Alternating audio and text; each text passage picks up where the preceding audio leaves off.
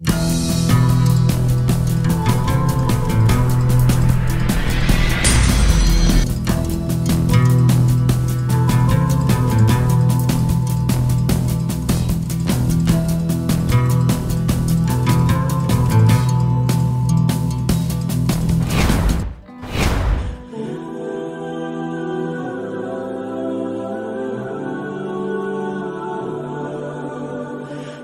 Empu Gandring sangat terkenal. Keris ini konon merupakan salah satu keris sakti yang pernah dibuat di tanah Jawa. Pusaka ini dibuat khusus dari bongkahan batu meteor yang jatuh dari langit. Keris ini juga sangat terkenal dalam sejarah berdirinya Kerajaan Singasari. Akibat kutukan dari pembuatnya, keris sakti ini justru memakan korban para pejabat keraton Singasari termasuk pemakainya, Ken Arok, Keris ini dibuat oleh seorang empu sakti bernama Empu Gandring. Tumpu ini adalah pembuat keris paling sakti pada zamannya. Keris-keris buatannya terkenal akan keampuhan dan tuahnya. Keris Empu Gandring ini dibuat atas pesanan khusus dari Ken Arok yang meminta jadi dalam satu malam.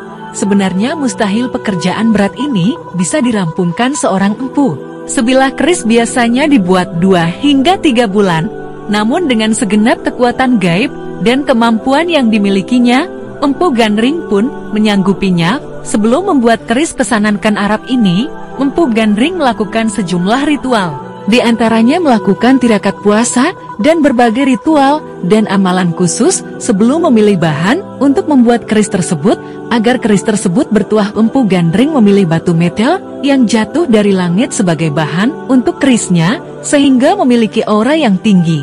Setelah keris terbentuk, Mempu Gandri mencelupkan keris yang masih panas tersebut ke dalam bisa ular.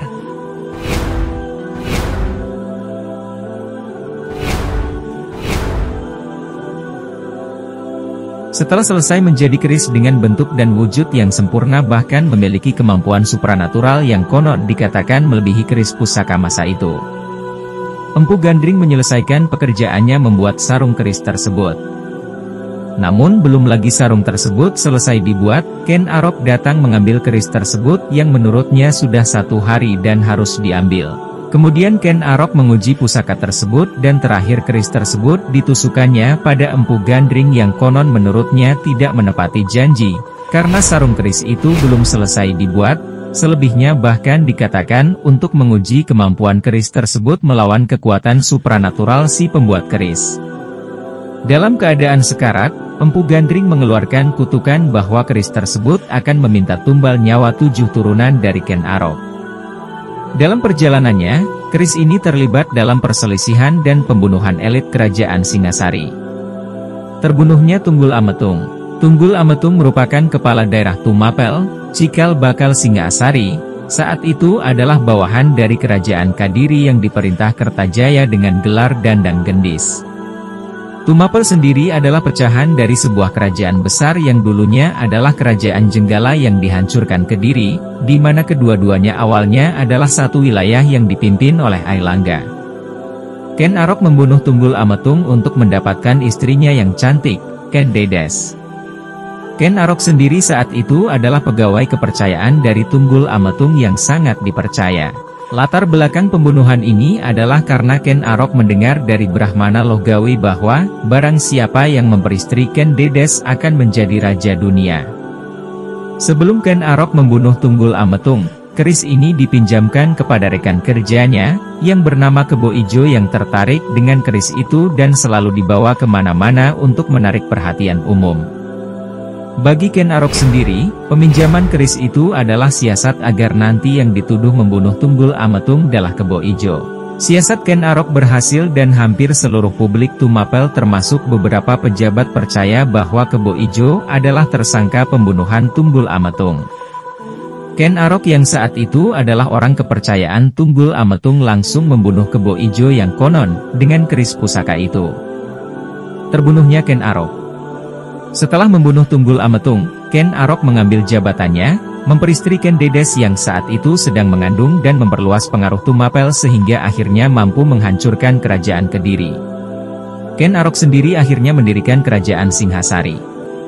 Rupanya kasus pembunuhan ini tercium oleh Anusapati, anak Ken Dedes dengan Tunggul Ametung. Anusapati, yang diangkat anak oleh Ken Arok mengetahui semua kejadian itu dari ibunya, Ken Dedes dan bertekad untuk menuntut balas. Anusapati akhirnya merancang pembalasan pembunuhan itu dengan menyuruh seorang pendekar sakti kepercayaannya, Ki Pengalasan. Pada saat menyendiri di kamar pusaka kerajaan, Ken Arok mengamati pusaka kerajaan yang dimilikinya. Salah satu pusaka yang dimilikinya adalah keris tanpa sarung buatan Empu Gandring yang dikenal sebagai keris Empu Gandring. Melihat ceceran darah pada keris tersebut, dia merasa ketakutan terlebih-lebih terdengar suara gaib dari dalam keris tersebut yang meminta tumbal. Dia ingat kutukan empu gandring yang dibunuhnya, dan serta-merta membantingnya ke tanah sampai hancur berkeping-keping. Dia bermaksud memusnahkannya. Namun ternyata keris tersebut melayang dan menghilang. Sementara Anusapati dan Ki Pengalasan merancang pembunuhan tersebut, tiba-tiba keris tersebut berada di tangan Anusapati. Anusapati menyerahkan keris kepada Ki Pengalasan yang menurut bahasa sekarang, bertugas sebagai eksekutor terhadap Ken Arok. Tugas itu dilaksanakannya, dan untuk menghilangkan jejak, Anusapati membunuh Ki Pengalasan dengan keris itu. Terbunuhnya Anusapati. Anusapati mengambil alih pemerintahan Ken Arok, tetapi tidak lama. Karena Tojaya, putra Ken Arok dari Ken Umang akhirnya mengetahui kasus pembunuhan itu. Dan Tojaya pun menuntut balas. Tojaya mengadakan acara sabung ayam kerajaan yang sangat digemari Anusapati. Ketika Anusapati lengah, Tojaya mengambil keris empu gandring dan langsung membunuhnya di tempat. Tojaya membunuhnya berdasarkan hukuman di mana Anusapati diakini membunuh Ken Arok. Setelah membunuh Anusapati, Tojaya mengangkat dirinya sebagai raja menggantikan Anusapati. Tojaya sendiri tidak lama memerintah. Muncul berbagai ketidakpuasan baik di kalangan rakyat dan bahkan kalangan elit istana yang merupakan keluarganya dan saudaranya sendiri, di antaranya Mahisa Campaka dan Diah Lembutal. Ketidakpuasan dan intrik istana ini akhirnya berkobar menjadi peperangan yang menyebabkan tewasnya Toh Jaya. Setelah keadaan berhasil dikuasai, tahta kerajaan akhirnya dilanjutkan oleh Ranggawuni yang memerintah cukup lama dan dikatakan adalah masa damai kerajaan Singasari. Sejak terbunuhnya Tojaya, keris empu gandring hilang tidak diketahui rimbanya. 7 turunan Ken Arok Beberapa sumber spiritual menyebut, keris empu gandring ini sebenarnya tidak hilang. Dalam arti hilang musnah dan benar-benar tidak ketahuan keberadaannya. Di akhir hayatnya di ujung keris buatannya sendiri, Empu Gandring mengutuk Ken Arok, bahwa keris itu akan menelan korban tujuh turunan dari Ken Arok. Dalam sejarah ataupun legenda ternyata ada tujuh, tujuh, orang terbunuh oleh keris itu, yaitu Empu Gandring, pembuat keris, Kebo Ijo, rekan Ken Arok, Tunggul Ametung, penguasa Tumapel saat itu, Ken Arok, pendiri kerajaan Singasari, Ki Pengalasan, pengawal Anusapati yang membunuh Ken Arok, Anusapati, anak Ken Dedes yang memerintah Ki Pengalasan membunuh Ken Arok, dan Tojaya, putra Ken Arok dari selirnya Ken Umang tidak terbunuh oleh keris ini. Satu lagi yang terakhir adalah Ken Dedes yang mati oleh keris itu. Dan kemudian keris itu diambil oleh Raja Jawa yang memiliki kesaktian luar biasa untuk memusnahkan keris itu dibuang ke kawah Gunung Kelut di Jawa Timur.